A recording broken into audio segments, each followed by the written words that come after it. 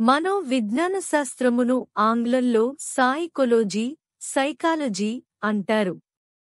ఇది సైకి సాయిక్ మరియు లోగస్ అను రెండు గ్రీకు పదముల కలయికతో ఏర్పడింది. సైకి అనగా సోల్ ఆత్మ లోగస్ అనగా సిస్టేమాటిక్ స్టడీ క్రమబద్ధమైన అధ్యయనం.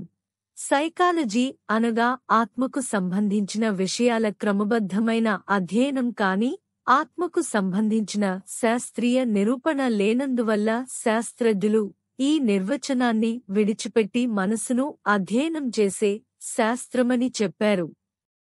కాని ఆత్మవలే మనస్సుకు కూడా శాస్త్రీయమైన నిర్వచనం లేక విడిచిపెట్టబడింది. తర్వాత మనోవిజ్ఞాన శాస్త్రమనగా చేతనత్వాన్ని అధ్యయనం చేసే శాస్త్రముగా నిర్వచించారు. కాని చేతనత్వానికి సంబంధించిన అపచేతనం మరియు అచేతనములను నిర్వచించుటలో విఫలం అవడం వలన ఆ నిర్వచనం కూడా ఆమోదింపబడలేదు. తర్వాత మనోవిజ్ఞాన శాస్త్రాన్ని మానవ ప్రవర్తనను అధ్యయనం చేసే శాస్త్రముగా ఆధునిక శాస్త్రజ్ఞులు పావ్లవ్ రష్యన్ వోట్సన్ రష్యన్ మొదలగు శాస్త్రవేత్తలు నిర్వచించారు. మనోవిజ్ఞాన శాస్త్రము మొదట తన ఆత్మ తర్వాత దాని మనస్సును ఆ తర్వాత దాని చేతనత్వాన్ని పోగొట్టుకుని చివరకు దాని ప్రవర్తనను మాత్రం మిగుల్చుకుంది. ఒక వెయ్యి ఎనిమిది వందల డెబ్బై తొమ్మిది సంవత్సరంలో జరిగిన జర్మనీలోని లీప్టిక్ విశ్వవిద్యాలయంలో విలియం ఊంట్ అనే శాస్త్రజ్ఞుడు మనోవిజ్ఞాన శాస్త్రానికి ప్రత్యేకమైన పరిశోధనాశాలను స్థాపించిన తర్వాత తత్వశాస్త్రము నుండి ప్రత్యేకమైన శాస్త్రముగా ఏర్పడింది. మనోవిజ్ఞాన శాస్త్రములో సామాన్య మనోవిజ్ఞాన శాస్త్రము జంతు మనోవిజ్ఞాన శాస్త్రము పిల్లల మనోవిజ్ఞాన శాస్త్రము జన్యు మనోవిజ్ఞాన శాస్త్రము వ్యక్తిగత సామూహిక విజ్ఞాన శాస్త్రము. జ్ఞానేంద్రియములకు అనుబంధ మనోవిజ్ఞాన శాస్త్రము. అనుప్రయుక్త మనోవిద్యున శాస్త్రము మొదలైన అనేక విభాగాలున్నాయి. అనుప్రేక్ష మనోవిజ్ఞాన శాస్త్రము మనోవిజ్ఞాన శాస్త్రంలో ఒక భాగంగా పరిగణించబడుతుంది. మనోవిజ్ఞాన శాస్త్రము విద్యా సమస్యలను ప్రక్రియలను ఫలితాలను అధ్యయనం చేసి విద్యా లక్ష్యాల సాధనకు అనువైన పద్ధతులను సూచిస్తుంది.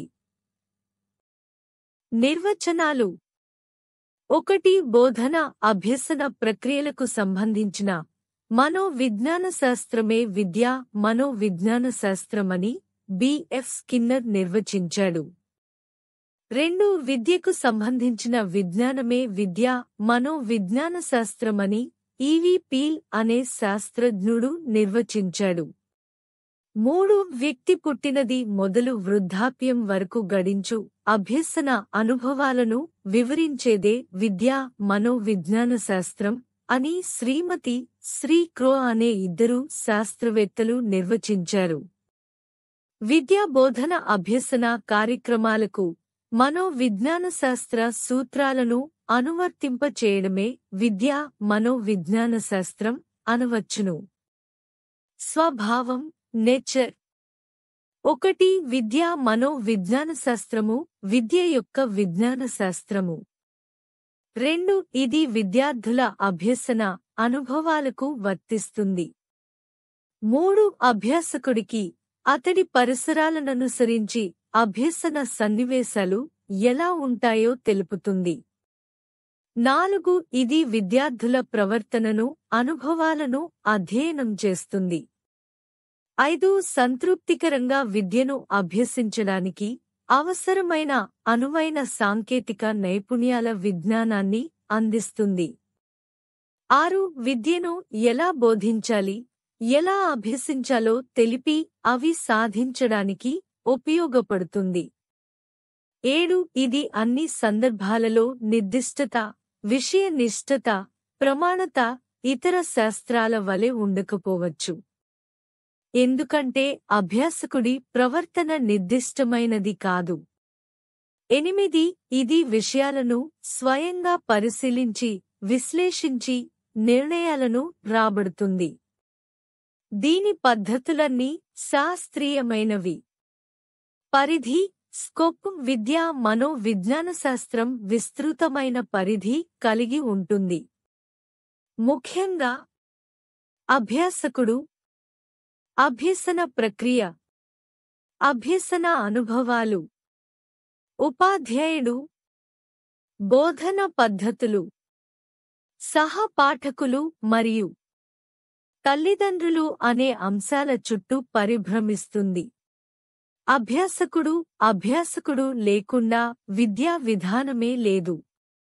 అందుచేత అభ్యాసకుని వివిధ అభివృద్ధి దశలు అనుభవాలు అభిరుచులు వైఖరులు వైయక్తిక భేదాలు ప్రజ్ఞ మొదలైన అనేక అంశాలను అధ్యయనం చేయవచ్చును. అభ్యసన ప్రక్రియలు అభ్యసన ప్రక్రియ అభ్యాసకుని తర్వాత అతి ముఖ్యమైన అంశం. అభ్యసన సూత్రాలు సిద్ధాంతాలు ప్రేరణ ఆలోచన వివేచన అభ్యసన బదలాయింపు మొదలైన విషయాలను అధ్యయనం చేస్తుంది. అభ్యసన అనుభవాలు ఏ వికాస దశలో ఏ అభ్యసన అనుభవాలను ఎన్నుకొని వాటిని ఎలా పొందాలో వివరించి వాటిని పొందడానికి తగిన పద్ధతులను సూచిస్తుంది. అంతేగాక తరగతి వాతావరణం వ్యక్తిగత సమూహ అభ్యసనం మొదలైన సన్నివేశాలను అధ్యయనం చేస్తుంది. ఉపాధ్యాయుడు ఉపాధ్యాయుడు తనను తాను తెలుసుకొని తన పాత్రను చక్కగా నిర్వహించడానికి తగిన జ్ఞానాన్ని అందిస్తుంది. బోధనలో విజయం సాధించడానికి దోహదపడే అంశాలను అధ్యయనం చేయడం జరుగుతుంది. బోధన పద్ధతులు విద్యార్థుల మానసిక స్థాయిని బట్టి విషయ కష్టతననుసరించి తగిన బోధనా పద్ధతిని ఎంపిక చేసుకోవడానికి తోడ్పడుతుంది. సహపాఠకులు అభ్యసనలో అభ్యాస్కుని ప్రవర్తనను ప్రభావితం చేసే సహపాఠకులను కూడా అధ్యయనం చేస్తుంది. అభ్యసన పట్ల వారి తోడ్పాటు విముఖత మొదలైన అంశాలను అధ్యయనం చేస్తుంది. తల్లిదండ్రులు అభ్యస్కుని శారీరక పెరుగుదల మానసిక వికాసం సర్దుబాటు మొదలగు అంశాలలో తల్లిదండ్రుల పాత్ర ఎక్కువగా ఉంటుంది. కనుక ఈ శాస్త్రం అభ్యస్కుని తల్లిదండ్రుల సాంఘిక ఆర్థికపరమైన అనేక విషయాలను అధ్యయనం చేస్తుంది. పరిధిలో పరిమితి. ఈ శాస్త్రం అభివృద్ధి చెందుతున్న శాస్త్రం. కొలంతో పాటు కొత్త అభ్యసన విషయాలు బోధన పద్ధతులు అభ్యసన ప్రక్రియలు వస్తాయి. ప్రస్తుత సూత్రాలు అన్ని వేళల వర్తించకపోవచ్చు. కనుక ఈ శాస్త్రానికి పరిధిని నిర్ణయించడం కష్టం. ఎందుకంటే నూతన భావాలు సూత్రాలు పద్ధతులు ఈ శాస్త్రంలో చేరుతూ ఉంటాయి.